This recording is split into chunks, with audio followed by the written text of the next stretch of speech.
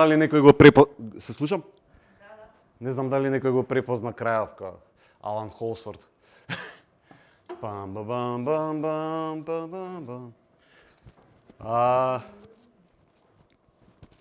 па у задње време го слушам доста Гери Новак и онака ми е као баш преска правевме муабет со Баге као дека Баге ми кажа као има некоја тој лик има нешто покрај тоа што е виртуозен пианист и тоа што има као интуиција за тоа што ќе збориме денес.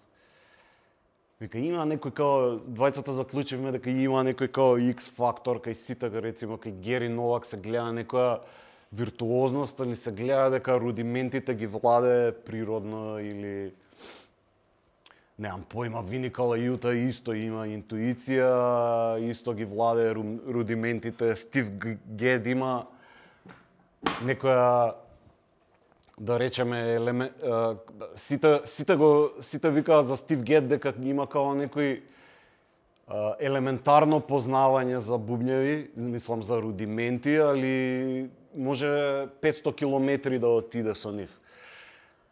И тоа ми беше као инспирација највише денес, као гледав као некако у оквирот, на пример ова што и да беше, дали е драм соло, некој stream of consciousness свирење, вака исто свирам и у гаража, не јас сум само бубњари, онака како никад не сум се правил дека знам многу теорија и никад поише сакам да слушнам Баги и Иво или Владче некој да ми збори околу тоа отколку што некад јас сам сум го чепнал тоа. Значи ја имам почната да свирам тапани негде 15 години кој имав, а прв пат се заинтересирав, прв пат се заинтересирав вајда на 12 години го гледав Дейв Векл, порано на МТВ дава многу джез фестивали, го гледав Дейв Векл со Чик Кореа на еден плав бубањ, имаше некој джигер опасен позади и она класика Дейв векал бизнес in front, party in the back и тоа ми беше као најфасцинантното нешто што го имав видено. Иако ништо не, не капирав што свири, али ми беше као у сите мои детски интереси, у кои што најглавен беше спортот, кога го видов Дейв Векол, мислам дека светот ми се преврте наопаку. А, али бидејќи не капирав што што свири он, што е целата прича позади неговото свирење и а, покасно моите тинејџерски години многу заглавив така на све што се дешаваше у 90-ти, значи Pearl Jam, Stone Temple Pilots, значи Dave Abruzzese, Eric Kretz, а, кои беа други, Мет Камерон, Soundgarden, тоа можев да го скапирам. Тоа ми беше онака како многу малце време ми требаше со мојата упорност, многу малце време ми требаше да посветам за да можам да скапирам што свири на пример Мет Камерон или Дейв Абрузезак. А бидејќи паралелно секогаш го имав тоа, секогаш имав љубопитност за тоа што се дешава, значи позади тие технички моменти на Векал и на Стив Геда, нака едно време почнав и да се консултирам со фаци што беа малце постари од мене и што беа малце поумешни од джезали. многу беше чудно у 90-ти за тоа што луѓето што располага со ограничени информации, Пример, ако си посветил многу време на твојот занае, и после некеш да ги делиш тие информации со други. Многу беа чудни, не знам, онака како која се сеќавам дека 13 или 14 години кои имав кога се консултирав со некој, мислам нема да именувам, нема да кажувам имињам, стално ми дава некои криптични одговори, онака како без врска некој како криптичен одговор, како како да стигнам до тоа што го правиш. Е, и ќе му потенцирам точно ш, како го правеше ова. Сваќаш нешто, сваќаш како Гери Хасбанд или како Питер Ерскин што свири. Е па ќе вежбаш добро викам, ќе вежбам како и да е. Знам, знам парадидли, знам six stroke roll, знам ако кажи ми, ако можеш да ми кажеш апликација. Едноставно не кажува такви ствари порано. Умеѓу време свирев со пуно бендови и стално можев да попунам тоа што се бара. Значи, обично јас сум свирал гитари, сум текстови пишувам еден куп и о, на таа страна никогаш не ми била проблем, али на пример овој импровизацијски момент ми бил стално интригантен Ама сум бил камен, многу сум бил, например, крут порано, кога сум сум сакал нешто да изведам, зашто прелаз за мене поим прелаз било као нешто што треба да дојде до крешендо. Никад не сум знаел да користам прелази као као дел од некоја реченица, знаеш, да видам како се вика, као елоквентно да зборам.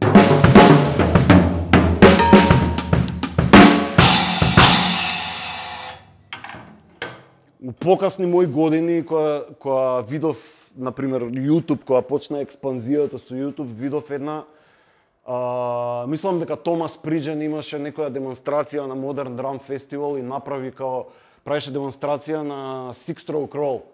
И онда прв пат сконтав што е Six Stroke Roll. Што е Six Stroke Roll. И, а, али само, само знаев на кет да го свирам. Ова ми беше.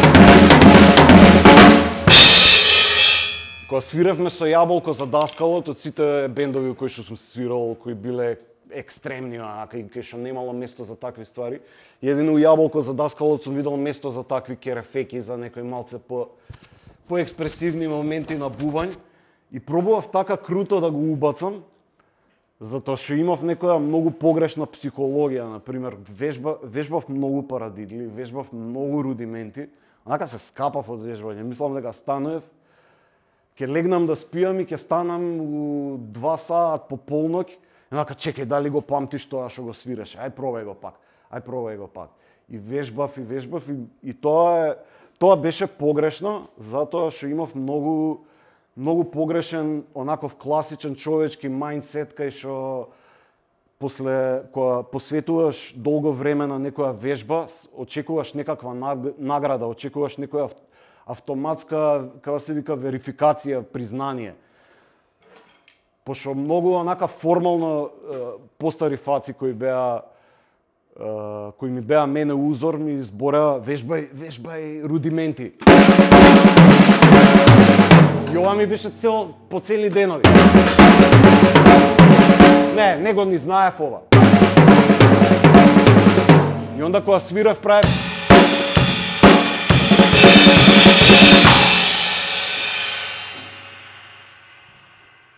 покасно, например, кога направив некоја своја вариација некако успеав да го рестартирам своето свирење, да, да го рестартирам а, начинот на кој што размислував, уствари скапирав дека многу од нив, многу од тие бубњари, мислам сите што се добри импровизатори, Раул Пинеда, Джими Бренли, Джоел Розенблат, Клиф Алмонд, Марк Джулиана, Зак Данзигер, онака, видов дека повеќето поголемиот дел од свирењето кај нив е само микро детали, али поише е пеење. Поише е пеење. И ради мојата крутост и целата, целиот фокус на рудименти, не можев да скапирам дека ова е до, доволно музика, не.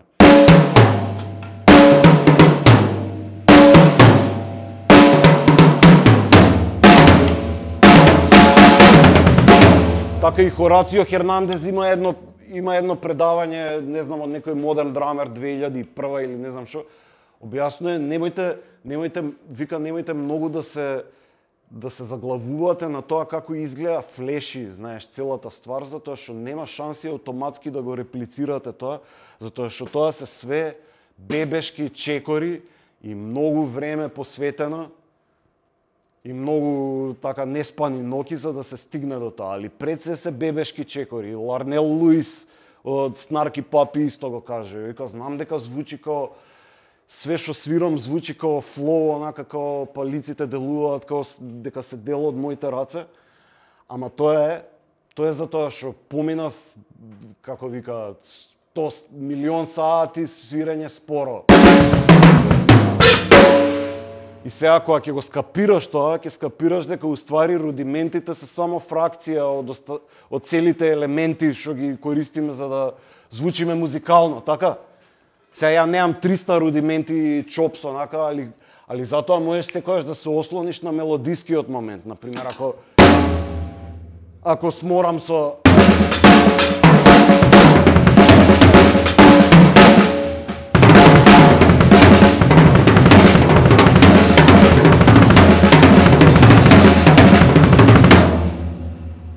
Што е како се вика тој елемент? Така да тоа е репетиција, така. Тоа е тоа е исто многу репетицијата е исто покрај рудиментите што се вака, имаме репетиција. Репетиција е многу битна. Кој го гледал Pulp Fiction? Сите, така? Се сеќавате Брус Вилис кога се, се накурчи на девојка му зашо саатот на татко му него, него земала? Да, седи покрај и повторив, седи покрај кенгурчето, покрај горната фиока, зашо не можеше да запамти и повторив стопати. Репетиција така доаѓа у вокабулар, како кога ќе повториш нешто значи дека е битно и тоа се применува исто инструмент, така?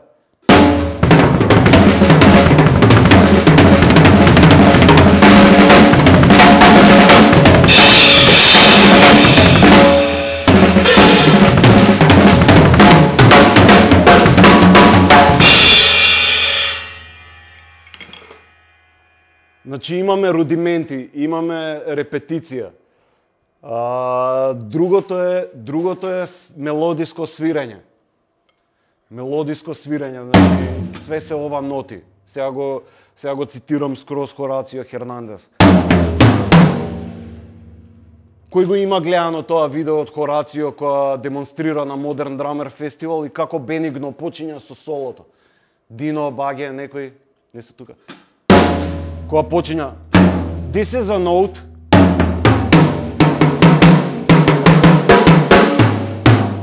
и почиња сона.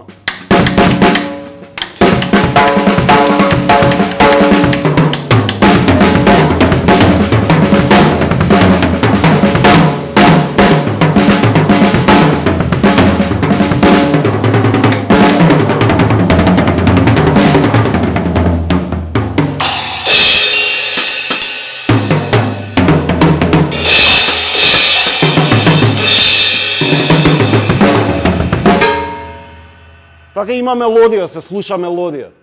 Трет елемент. Значи, рудименти, репетиција, а, мелодиско свирење. Значи, на крај доаѓа, на крај доаѓа самата интуиција. А, кога, кога застануваме и имаме план некад, знаеме, знаеме да спакуваме, да дојдеме со куфер пун со финти, така? Си вежбал, си вежбал 300 сати, знаеш ова, знаеш ова, ле, колку ми се свига, ама као ти се свига фората што си ја направил, али, али у тој контекст никад нема да ја повториш. Тешко ти е да ја повториш или ако ја повториш нема да биде тоа тоа, зашто се погодило со ова. Значи, невозможно е, некако, не знам, бар за мене, невозможно е кога ќе дојам на свирка и кога има таков импровизацијски момент, да да да спукам некои работи што сум ги тренирал, онака што сум ги тренирал на памет, бубање на памет.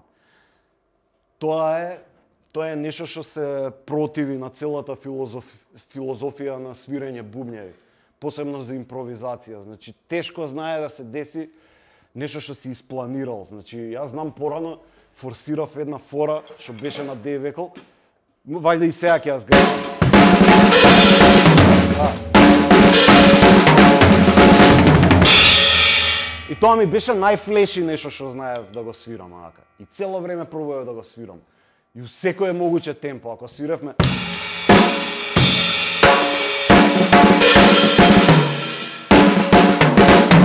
А, не, не ни можам да го свирам затоа што е спакувано у куфер.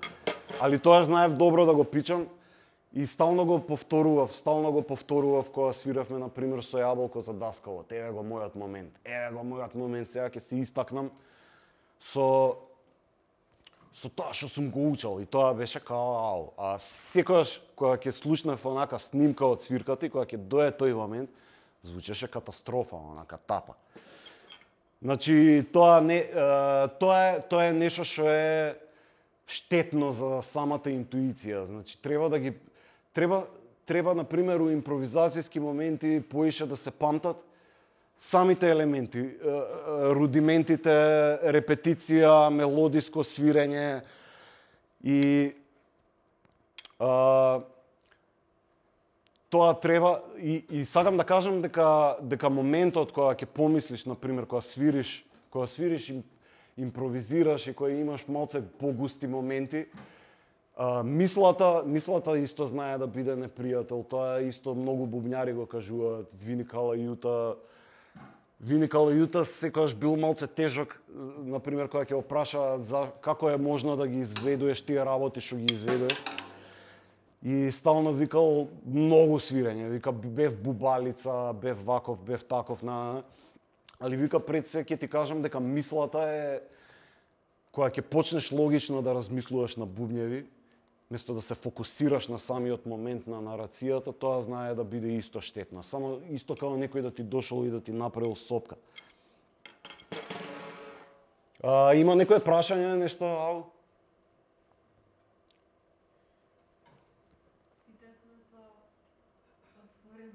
Да, окей ми иде. Не го тупам. А, а, Сакав, сакав, сакав пуно други работи да зборам, ама сега малци и ја си направив сопка онака како чекај, чекај, чекај, што што Да, чекај, што требаше да кажам само ам,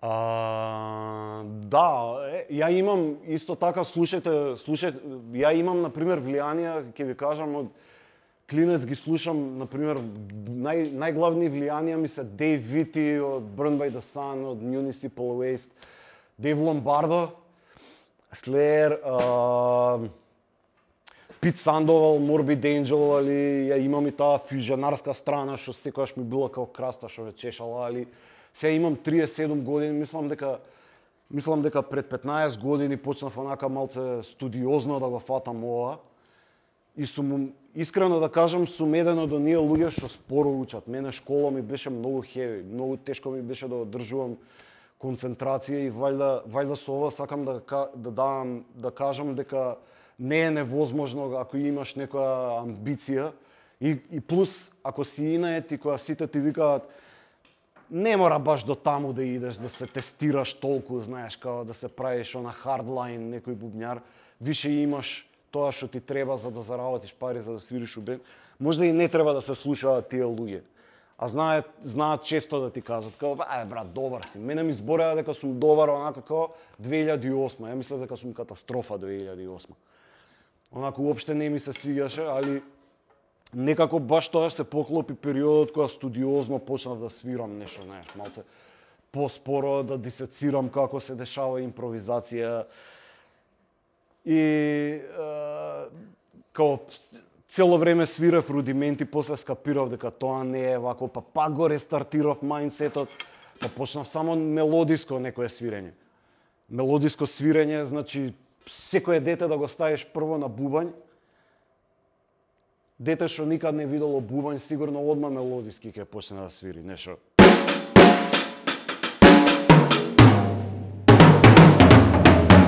ова е исто битен елемент.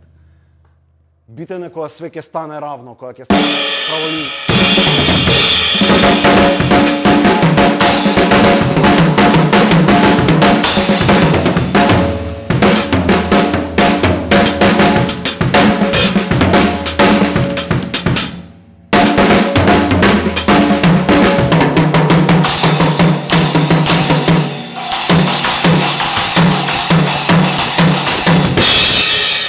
Прави некој у целиот филинг кој импровизираш прави некое непријатно чувство кога те тегне назад кога да возиш кола кога да возиш кола и одеднаш на пешачки треба да застанеш онака не си видел дека луѓе поминуваат и прави некој непријатен момент ама има добар контекст кога кога се става у музика.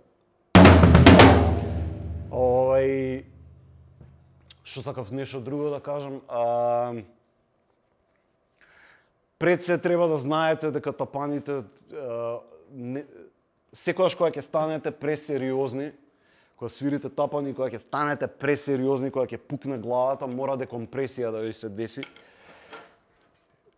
Не знам колку фанови има на фьюжн, джез или на такви некои ствари што се малце по по таму у, у у метафизика да речеме музички. Не знам, слушате фьюжн, такви ствари, джезови, некои Махавишну, ова, она, такви ствари, не знам, Роналд Шенон Джексон, Decoding Society, Стив Колман, рока некој, не знаете.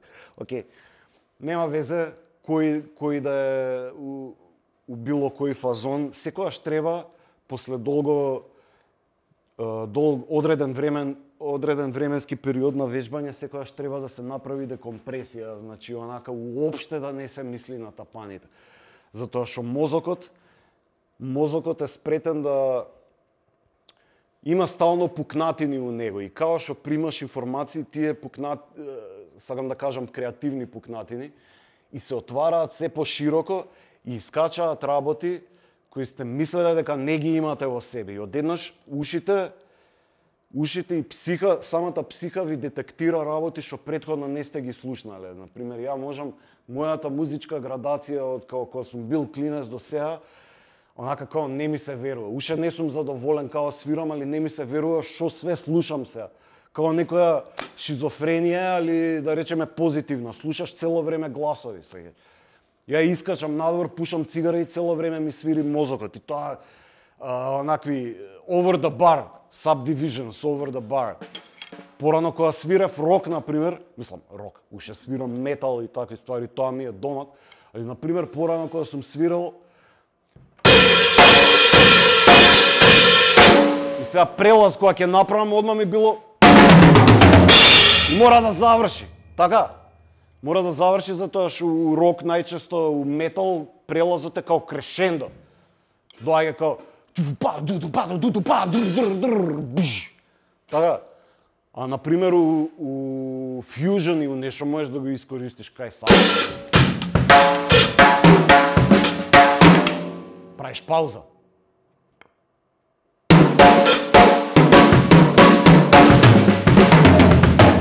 Свириш over the bar. Цело време ти иде чак, чак, чак, чак, чак. Така. And Одмарам. Э, уше бројам, уше бројам, уше бројам.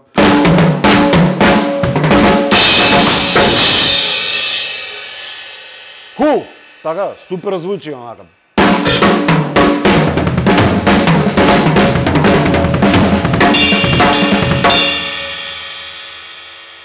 Ако не ми текиње у моментот, пауза. Пауза е исто многу интересен елемент кога свириме импровизација.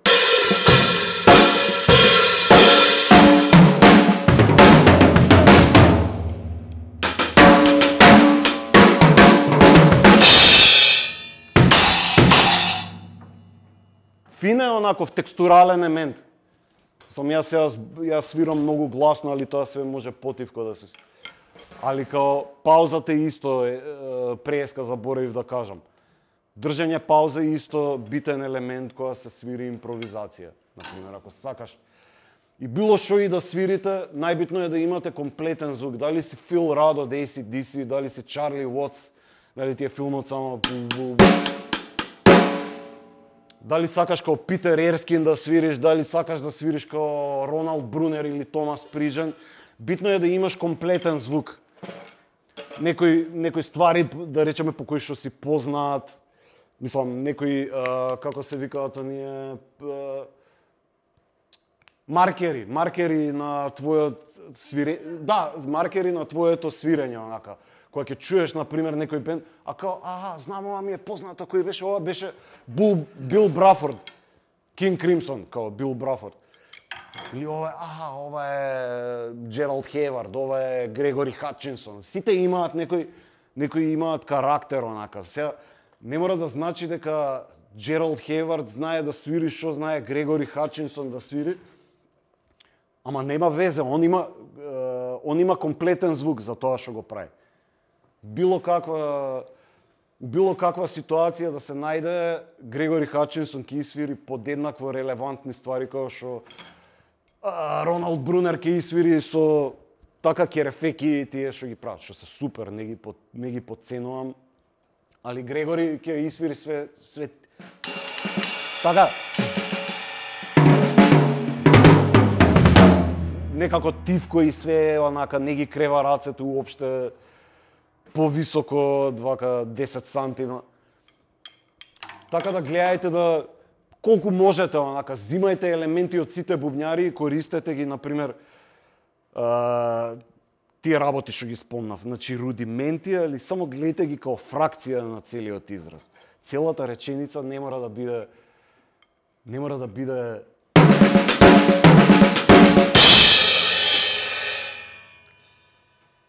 Реченицата може да биде руди ако ако сакаш да искористиш рудимент, може да биде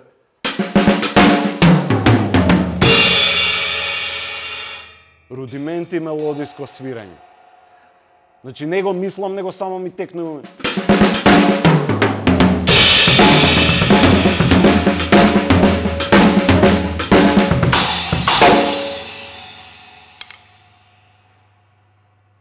Све сите сите тие работи делуваат а, се се состојки као како кога правиш некоја манџа, така имаш зачини ставаш. Ова ти е вегета, ова ти е бибер, ова ти е не знам, морско оревче, ова ти е овако. Значи го третираш као као кувар што ја третира манџата и само ставаш елементи. Значи ако е ако бибер е парадидол и ако си цело време ваков Океј, освен ако не свириш драмен бейс, тоа ше окей. Али ако тоа е, ако целата манџа и ставиш само а, а знае да биде тумач, така никој нема да може да го јаде, исто иде и со сол и со вако. Значи тоа се ситни фракции што само помагаат. И сега ќе ви нап... ова го кажувам затоа што правам паралела као клинец која сум се консултирал со поискусни фаци кои онака како ми кажале мора да вежбаш, мора да вежбаш рудименти, мора да вежбаш рудименти и да вежбаш цело време. Тоа не е точно. Има има бубњари што стварно не знаат ни рудименти ни ништо, а се скроз флуидни, имаат вокабулар до до Нептуна, ака може да ти свири сваќаш кога ќе мислиш дека е пресушен и уште толку ќе ти дае, онака ќе се изненадиш како што к се деси, знаеш. А, а не знам, онака како како клинец го сакав овој Ману Каче. Ману Каче мислам дека не знае, може да знае дабл, али никад не се оптеретувал со некои рудименти, али има супер израз. Артикулација, така како ќе удри. Динамика.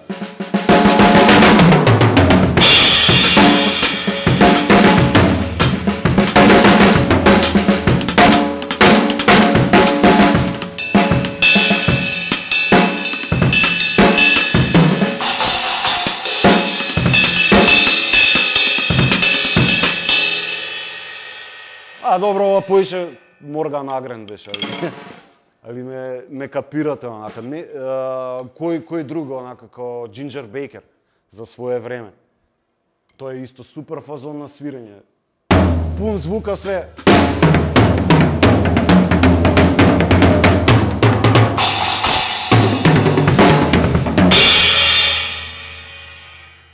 Силјајте на тоа да имате карактер и сите овие елементи да не ги преценувате, него само да ги користите као као онака као шаржер, шаржер и пиштолот да е пуна, ма све треба да биде све треба така да се абсорбира за да биде за да може удадена ситуација да излезе спонтано и интуитивно. Значи да не каже 1 2 3 паника, свири го она што си го извежбал, свири го она што си го извежбал него само да го пуштиш што и да биде, што и да се деси, дали ќе искористиш репетиција, само да звучи како реченица и да има артикулација така у свирењето. Да има тивко, да има гласно, да има динамика, да има вако. Тоа се некои од моите главни совети, онака, мислам, ја немам стварно формално формално образование, само од бубњари што ги сакам Сите бубњари што ги сакам од Македонија се у или се у ходникот надор. Баге, Дино, Мишко, Викторче, Джиги, не знам кај. Значи, сега има фаци што се е, сме споени уствари, се дешава онаков како конврдж на постари генерации и помлади генерации и сите разменуваме онака знаење. Порано не се дешаваше тоа у 90 Мислам дека порано беа онака како а, ќе си као ако ако јас се измачив да стигнам до ова и ти да се измачиш подеднакво како мене да стигнеш до. Сега нема нема такви ствари, можеш да се консултираш и сите се супер момци и имаш има милион туторијали на YouTube, мислам дека онака у вечерни часови кога нема што да се прави, може слободно сите клиники од 80-ти, 90-ти, од олдскул фаци до до нови вет зверови што прават разноразни екзибиции, госпелаши, свашта може да се научи. Али ќе ви кажам, сите тие бубњари што ги гледате, што се искусни, значи што имаат пун звук, свираат со тие елементи, ги канализираат, ги канализираат преку интуиција. А интуиција најболе се вежба со почесто, шо почесто свирење уживо. Шо почесто свирење уживо. Ја онака како се имам скршено од свирење со бендови, мислам сите се авторски.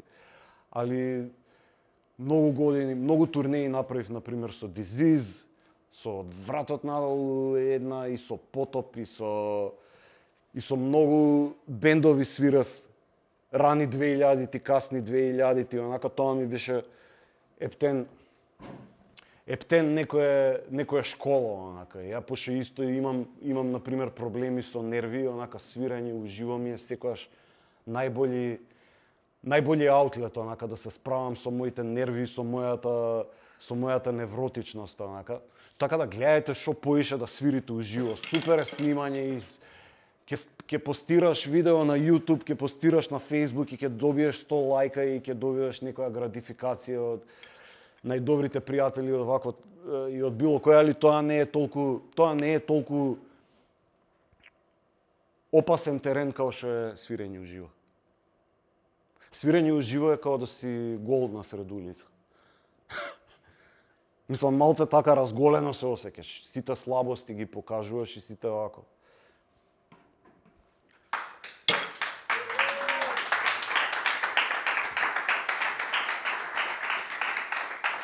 Е, има, нема прашање.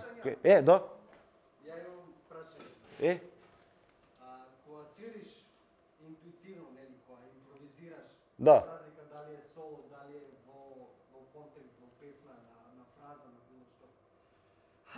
Дали имаш момент кај што а, размислуваш, а, фразата ја размислуваш ритмички и ја координираш на елементите, нели, правиш комбинација кој каде ќе го правиш, или едноставно влегуваш во, во начин на свирење кај што ритамот сам по себе се случува.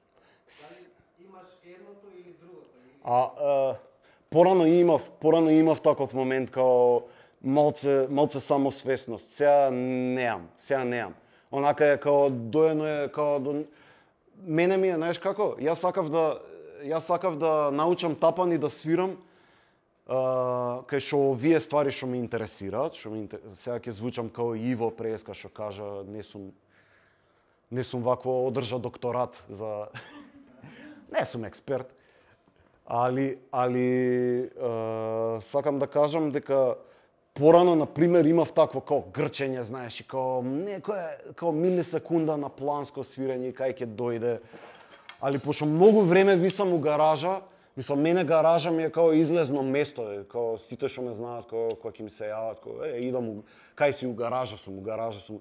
И многу време поминувам и она ми е као само само као некоја експлозија. Експлозија. До преска ми се дешаваше, до преска дур седавме надвор и до Други слушав сите овие другариве бубњари ми се дешаваше како некоја имплозија на идеи, како имав некој момент како па што не пробаш ова, па нешто конципирав некој, знаеш, она, викам, џабе конципираш, ништо нема да излези. И тоа што го исвирав, тоа што го исвирав беше скроз онака само фрлање раце и аутопилот овде, со као да речеме ми иде метроном у глава. Чака, чака, чака, чака, чака, чака, чака, чака, чака, чака. А у ствари ова е се само, знаеш, онака ги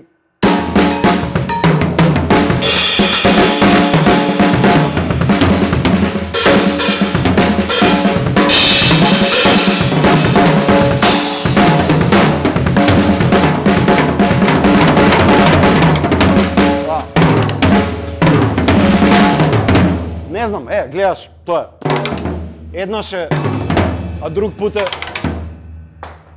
а исто, тоа е исто добра фора, онака која ќе зезнеш, например ми се деси обрач, продужија фразата на обрач. Не. тоа го прават, мислам, онака, како, супер е, онака, како, како сос финта е, онака. Ке го видиш Кри, Крис Колман, си го видел Крис Колман? Раце летаат на сегди само и само ќе ја направи, ќе ја доврши фразата на на обрачи. Е, сакам да кажам, на раб сум вака, на пример, кога ги правам така, као да као на она, као да одиш на линија, као да ај малце е вакво, бар за мене, зашто не сум зашто ја го имам истренирано ова, само свирењето да биде онака acceptable, да не не можам да правам керефеки и некои такви, али да имам онака како добри фрази. И до таму, до таму можам да да да притискам, да притискам интуитивно. Можам да притискам интуитивно со сите овие елементи што ги напоменав. Со е, така да ги расфрлам малце рацете, да правам, па да ќе направам грешка, па од грешката нешто ќе излезе, знае. Али све е кога да идеш на жица, као она како во, во, во, во, во, во. Дело кога да ќе паднеш, па малце ќе најдеш некоја И сега, кај да идам, кај да идам, кај да идам, репетиција правиш.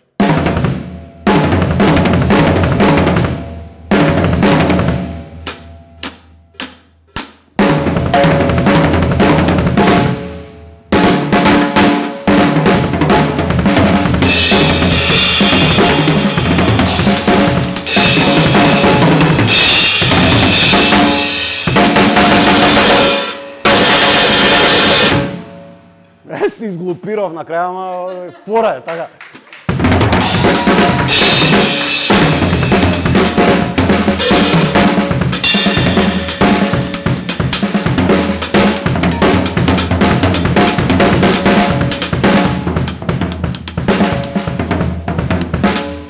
Триоли, триоли.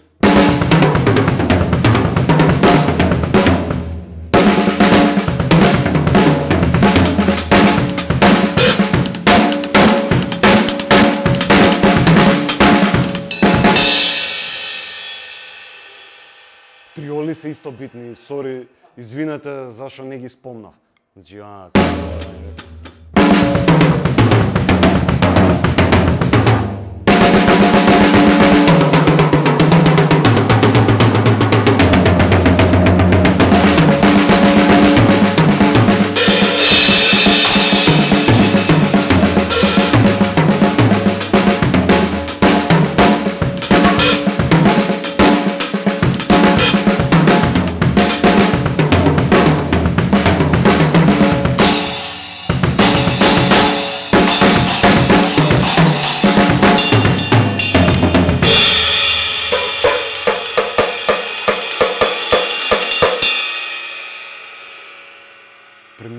тоа темпо, ќе скапираш дека дека некои темпа фоку, функционираат добро за да за да триолите звучат сочно и онда кога ќе ги пребасиш на 16-тини пак да пак да си парираат како лончи и капаче.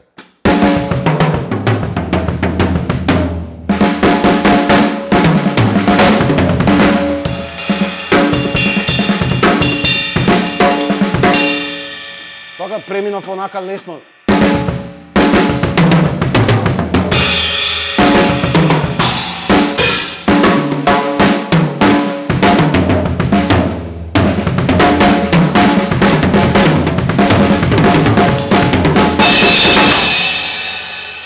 Оке, така добро звучи. Идеш као тегало прво, ца та та та та за ба ба ба ба ба ба.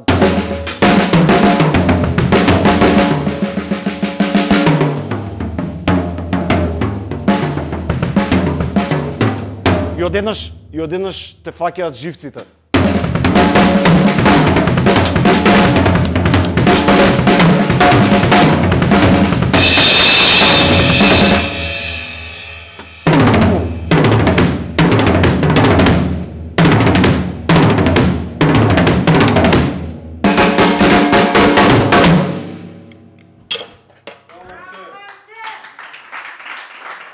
Некој друг прашање?